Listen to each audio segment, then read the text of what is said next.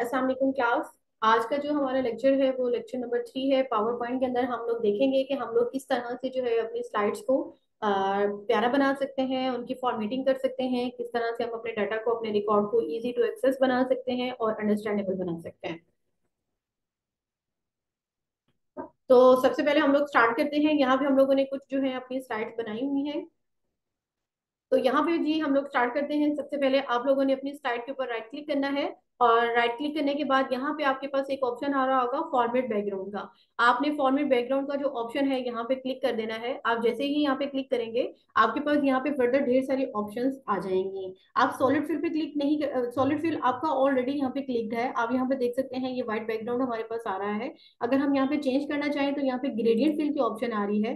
Gradient fill के अंदर student आप लोग अपनी मर्ज़ी से कलर कम्बिनेशन चूज़ कर सकते हैं। फॉर एग्ज़ाम्पल यहाँ से मैं कोई कलर चूज़ कर देती हूँ लाइट ग्रीन और इस ग्रीन कलर के जो डायरेक्शन है या उसके टाइप जो आप चूज़ करना चाहते हैं, वो भी आप चूज़ कर सकते हैं। लाइक मैं यहाँ पे पाथ चूज़ कर लेती हूँ, आप यहाँ पे देखें, थोड़ी ब्राइटनेस आपको फील हो रही होगी। अगर यहाँ पे आप इसके साथ कोई और कलर कम्बिनेशन भी चूज़ करते हैं, मैं थोड़ा डार्क कलर चूज़ करती हूँ, ताकि आप लोगों को थोड़ा सा आइडिया हो जाए कि किस तरह से जो है वो हमारा डाटा के ऊपर ये जो कलर्स हैं, ये किस तरह से अफेक्ट होते हैं। अगर मैं यहाँ से इसका पाथ चेंज कर देती हूँ, इसको मैं लीनियर कर देती हूँ तो आप यहाँ पे देखिए, ये कलर यहाँ पे मूव कर गया है। इसी तरह से अगर हम लोग यहाँ पे टाइटल से लेते हैं तो आप यहाँ पे देखिए कलर कम्बिनेशन इस तरह से शो हो रहा है। तो उम्मीद है कि आपको इस टाइप की बात समझ में आ रही होगी कि ये टाइप किस तरह अफेक्ट करता है। तो काइंडली वीडियो को भी लाइक कीजिएगा। और स्टूडेंट uh, अगर आप लोग यहाँ से इनके ये डिग्री जो है इसको एंगल को चेंज करना चाहें आप वो भी चेंज कर सकते हैं। आप यहाँ पे कोई भी कलर चेंज करना चाहते हैं आपको कलर पसंद नहीं आया तो कोई इशू नहीं है आप अपने कलर को जो है वो यहाँ से सिलेक्ट कर सकते हैं और चेंज भी कर सकते हैं। तो दोनों कलर हम लोगों ने एक जैसे ही सिलेक्ट uh, कर लिए हैं। तो अब आप यहाँ पे देखें कलर कॉम्बिनेशन भी कर सकते हैं।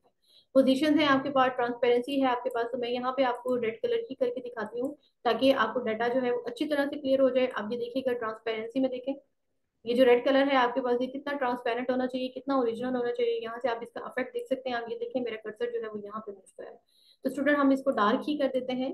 डार्क करने के बाद यहाँ पे मेरे पास ब्राइटनेस की ऑप्शन आ रही है। आप ये देखें, जब मैं ब्राइटनेस पे क्लिक करती हूँ तो यहाँ पे आप देख सकते हैं कितना ब्राइट हो रहा है कितना जो है वो डार्कनेस हो रही है। तो यहाँ पे हम इस पे क्लिक कर देते हैं। यहाँ पे मेरा कर्सर मूव कर रहा है, मैं यहाँ पे क्लिक कर रहा हूँ। तो स्टूडेंट आप लोग यहाँ पे अगर यही सारी ऑप्शन जो है सारी स्लाइड्स पे अप्लाई करना चाहते हैं तो आप लोग सिंपल अप्लाई टू ऑल की ऑप्शन पे क्लिक कर दें। यहाँ पे मेरा कर्सर है मैं इस पर क्लिक कर रही हूँ। आप यहाँ पे ये देख सकते हैं कि सारी की सारी जो मेरे पास स्लाइड्स हैं उनके ऊपर जो है वो मेरा डाटा शो हो गया है। आ, सारे का सारा डाटा जो है वो वहाँ पे मेरे पास अप्लाई हो गया।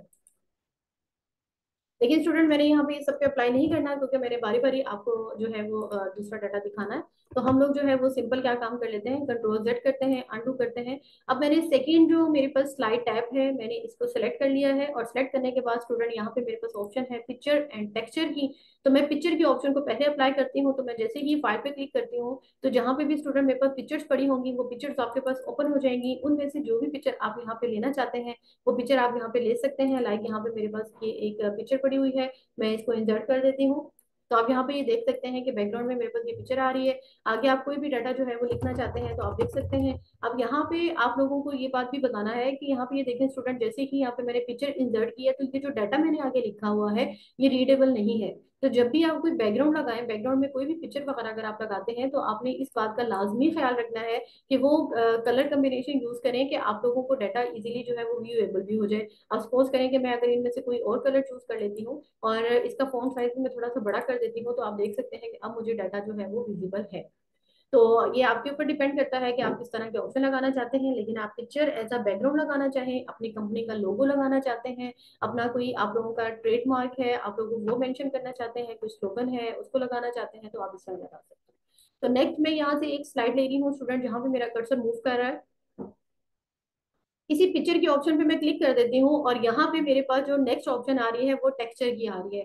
तो टेक्सचर अगर मैंने अप्लाई करना है तो यहाँ पे आप देखेंगे टेक्सचर की ऑप्शन आ रही है। तो जैसे ही मैं यहाँ पे क्लिक करूँगी तो मुख्तु किस्म के टेक्सचर मेरे पास अवेलेबल है। आप अपनी मर्ज़ी से कोई भी टेक्सचर यहाँ पे अप्लाई करना चाहते हैं तो आप अप्लाई कर सकते हैं, जैसे मैंने अप्लाई किया।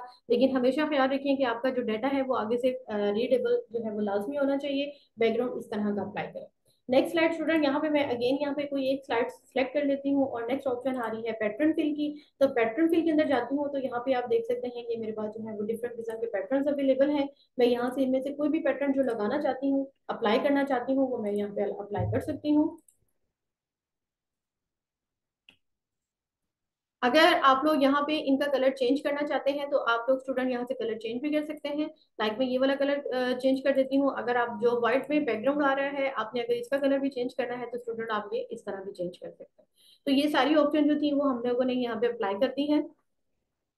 तो स्टूडेंट इस तरह आप वन बाय वन अपनी हर स्लाइड के ऊपर जो है वो डिफरेंट किस्म के ऑप्शन फॉरवर्ड बैकग्राउंड के ऑप्शन से अप्लाई कर सकते हैं। तो स्टूडेंट अब यहाँ पे हम लोग ये डिस्कस करते हैं कि जब आपने प्रेजेंटेशन बनानी है तो उस वक्त प्रेजेंटेशन बनाते वक्त आपने किन बातों का ख्याल रखना है और इसको आपने अपने जहन नशीन भी रखना है। स्टूडेंट, जिस टॉपिक के बारे में आप प्रेजेंटेशन बना रहे हैं, उसके ऊपर फुल फ्लेज आपका वही टॉपिक डिस्कस होना चाहिए। उससे रिलेटेड आपके पिक्चर्स हैं, आपके चार्ट्स हैं, आपके ग्राफ्स हैं, आपके कॉलम्स हैं, आपके टेबल्स हैं, जहाँ पे आपको इन चीज़ों को लगाने की ज़रूरत पड़ती है, वो भी आप इसमें लाजमी मेंशन करें। इसके अलावा आप लोगों ने राइटिंग स्टाइल इस तरह का चूज़ करना है, जो इजीली आपके पास रीडेबल हो अंडरस्टैंडेबल हो। कलर कम्बिनेशन को यूज़ करते वक्त आपने इन बातों का ख्याल रखना है कि आपका जो बैकग्राउंड में कलर हो, वो इस तरह का ना हो कि आगे वाला जो डाटा है आपका वो बढ़ा ना जा सके। और डाटा का साइज़ जो है फ़ोन का साइज़ आपने इतना छोटा नहीं रखना कि जब उसको डिस्प्ले किया जाए प्रेजेंट किया जाए, आपके सामने स्लाइड शो की जाए तो उस वक्त आप लोग जो है उसको इजीली रीड ना कर सकें या व्यूएबल ना हो। स्मॉल साइज़ आपने बिल्कुल नहीं रखना एडजस्टमेंट साइज़ रखना है आपने। और इसके अलावा जो जो डाटा आपको इसके साथ रिप्रेजेंट करने की ज़रूरत है, आप उसको कर सकते हैं। आप अगर अपनी कंपनी की तरफ़ से कोई प्रोडक्ट लॉन्च कर रहे हैं या लोगों को इन्फॉर्म कर रहे हैं, बता रहे हैं, अपनी कंपनी का लोगो लगाएँ, अपनी कंपनी के बारे में लोगों को बताना चाहते हैं, आपकी कंपनी क्या काम करती है तो आप अपनी कंपनी के बारे में भी डिटेल बता सकते हैं, अपने कोर्सेज के बारे में बता सकते हैं, अपनी सर्विसेज़ के बारे में बता सकते हैं। इसके अलावा जो है, आपकी कोई स्किल्स हैं, आपने वो बतानी है वो भी बता सकते हैं। तो प्रेजेंटेशन आपको बनाने का तरीका का यही है, आगे आप पे डिपेंड करता है कि आप किस बात को रिप्रेजेंट करना चाहते हैं। तो उम्मीद है कि आपको यहाँ तक बात समझ में आ गई होगी। लास्ट लेक्चर में हमने आपको ज़रूर बताया था कि डाटा सर्च करते हैं जब पावर पॉइंट में। तो उसमें क्या फ़ायदे होते हैं, उसको भी आप ज़रूर अपने जहन में रखिएगा और उसमें भी आप एडिट कर सकते हैं। इसके अलावा स्टूडेंट यहाँ आपको बताते जाएँ कि यहाँ बहुत से ऐसे स्टूडेंट्स हैं जिनको ये पावर पॉइंट पे काम आता है, वो बहुत अच्छे तरीके से काम कर लेते हैं और अपनी इसी स्किल्स को यूज़ करते हुए वो बहुत ज़्यादा जो है ऑनलाइन अर्निंग भी कर रहे हैं। डिफरेंट लोग जिनको प्रेजेंटेशन की ज़रूरत होती है, वो उनसे कॉन्टेक्ट कर लेते हैं और डॉलर्स की फॉर्म में जो है उनको वो पेमेंट की जाती है। तो अपना बहुत ख्याल रखिएगा काइंडली वीडियो को भी लाइक कीजिएगा शेयर कीजिएगा और सब्सक्राइब कीजिएगा। अल्लाह हाफिज़।